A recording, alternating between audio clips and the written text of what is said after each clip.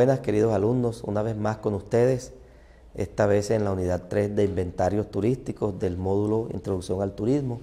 Y la charla de hoy va a ser sobre la formalización en las empresas de turismo. Un tema que no es fácil, que está de bulto, pero se hace muy poco eh, contra la informalidad, hay que decirlo. Eh, vamos a empezar por identificar los rápidamente porque eso está en sus módulos.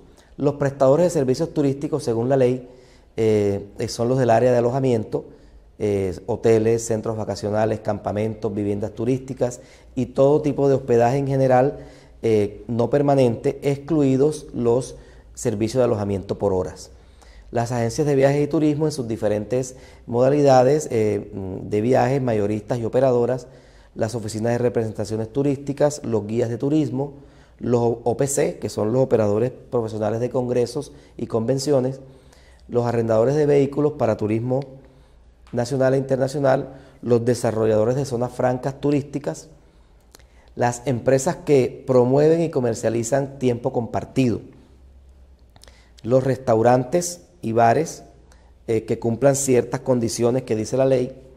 Las empresas captadoras de ahorro para viajes, esas son las que eh, les llaman clubes para viajar. Los concesionarios de servicios turísticos en parques, en parques temáticos o parques de ecoturismo. Em, las empresas de transporte terrestre automotor especializado, como los operadores de chivas, por ejemplo, y de vehículos típicos de transporte, y cualquier otro que de aquí en adelante considere la entidad rectora, en este caso el ministerio. Todos los prestadores de servicios turísticos tienen la obligación de registrarse, de inscribirse ante el Registro Nacional de Turismo para poder operar. Esta es una condición que empezó costando un salario mínimo, después costó medio salario mínimo, después no costó nada, con el fin de motivar a la formalización y todavía es la hora eh, de, ya en casi 20 años de existencia de la ley, eh, todavía es la hora en que el porcentaje de informalidad está en un 70%. Y dice la ley que todo negocio turístico debe estar o tener su registro nacional de turismo para poder operar. Todavía es la hora en que encontramos hoteles, como dice uno, piratas, sin registro, eh, la parahotelería que se le llaman, los nuevos edificios que alquilan eh, disque para sostenerse, eh, alquilan el apartamento, alquilan la vivienda, lo cual no está mal, siempre que cumplan la norma. Los prestadores de servicios turísticos tienen la obligación de inscribirse en el Registro Nacional de Turismo, de acreditar ante el Ministerio su condición de prestador de servicios, de ajustar sus pautas de publicidad de acuerdo a la norma, eh, calidad, cobertura, sin competencia desleal, entre unos con otros, suministrar la información que se les sea requerida por parte de las autoridades, dar cumplimiento a las normas sobre protección del medio ambiente, actualizar anualmente los, la información del Registro Nacional de Turismo. El registro no fue creado para, hacer eh, funciones inquisitivas o, o, de impuestos, sino sencillamente, y es lo que a veces el empresario no entiende, para contabilizar cuántos son en el sector, cuántos somos, cuántos hoteles hay, cuántas habitaciones tienen, cuánto empleo generan, los restaurantes, cuántos son, cuántos meseros, cuántas mesas. De eso es lo que se trata y en la medida en que eso no responda a la realidad, el sector turismo seguirá siendo un sector débil con realmente el 30% legal y las cifras que correspondan únicamente a ese 30% que es el que está legalizado, nunca será representativo de lo que es en realidad el sector. Em, la ley habla de las infracciones para quienes em, no cumplan la ley, las cuales pues eh, no vamos a profundizar en ellas, pero eh, pueden ir desde sanciones de 10 salarios mínimos, aquí está, hasta 100 salarios mínimos, eh, suspensiones por 30 días, cierre del establecimiento, hasta por 5 años. Eh, entonces es una invitación, aprovecho para hacerla para que quienes todavía cursando este módulo tienen sus negocios, sus pequeñas empresas en la informalidad, el llamado es a que se legalicen. Eh, legalizarse tiene sus beneficios. Uno no se legaliza porque sí, uno legalizándose puede tener acceso a todos los beneficios del gobierno para el empresario.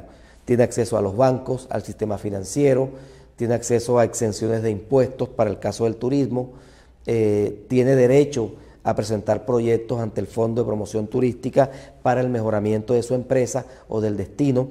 También tiene el derecho de presentar eh, sus necesidades ante las cámaras de comercio para el fortalecimiento de sus negocios a través de los programas empresariales.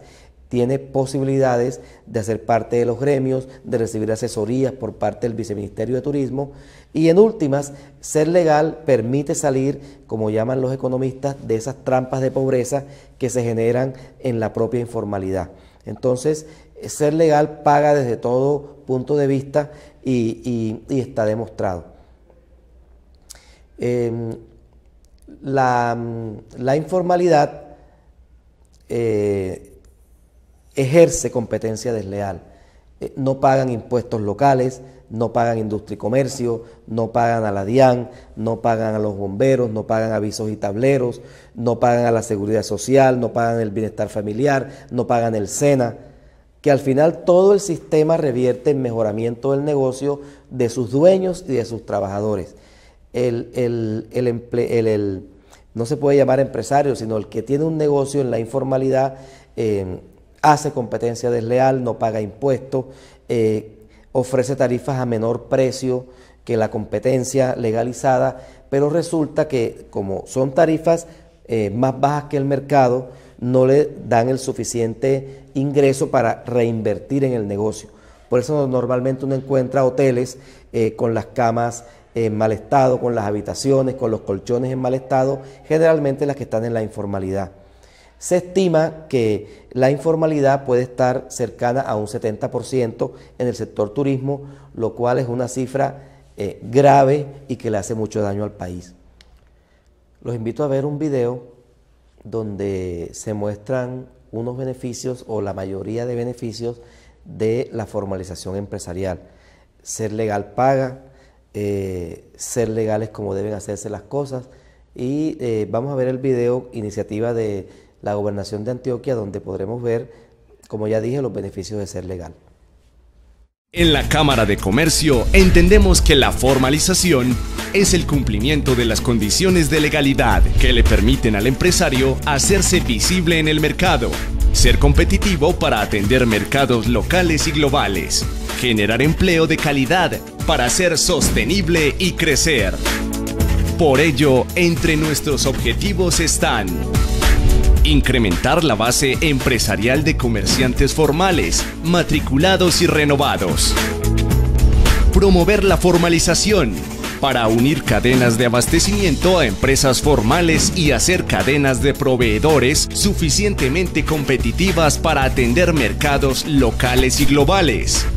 Consolidar alianzas con otras instituciones públicas y privadas para promover la formalización y contribuir a un mejor entorno competitivo.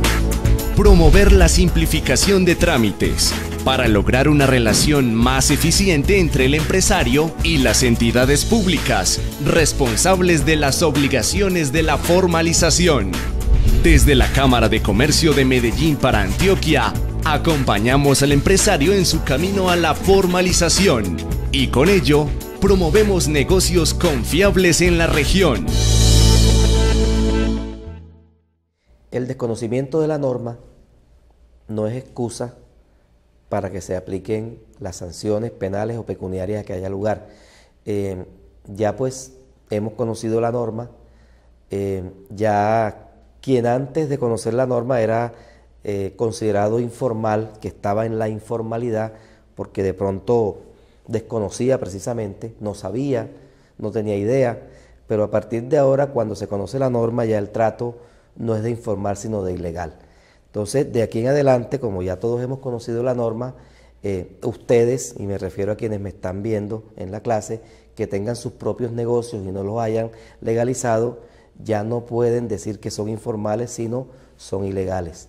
Entonces la invitación es a legalizarse eh, para que se eviten las sanciones que ya hemos visto como las hay en todas partes del mundo. quiero dejarlos con esta pregunta eh, para que recorran donde ustedes viven, su lugar de residencia. Ya ustedes saben quiénes son. El señor que arrienda la habitación de hotel sin estar legalizado, el edificio de apartamentos que alquila sin estar autorizado, como dice la norma, el restaurante por allá que no tiene los registros de sanitarios. Eh, todas esas son acciones de, la, de servicios en la informalidad o en la ilegalidad.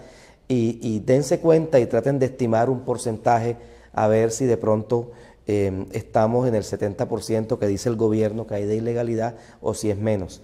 Los dejo con esa tarea, pues eh, no para evaluar, pero por lo menos para que eh, tomemos conciencia sobre la situación de informalidad que afecta al turismo y eh, con, con, la bibliografía de, la, de esta clase los dejo con un saludo cordial para que nos veamos en una próxima oportunidad. Muchas gracias.